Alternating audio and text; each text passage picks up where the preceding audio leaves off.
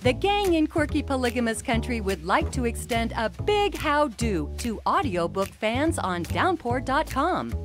It's the monsoon season as Downpour offers a deluge of wacky audiobooks by Adele Park.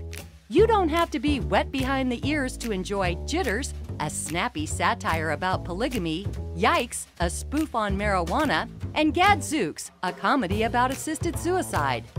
Towel off and take the plunge into quirky polygamist country on downpour.com.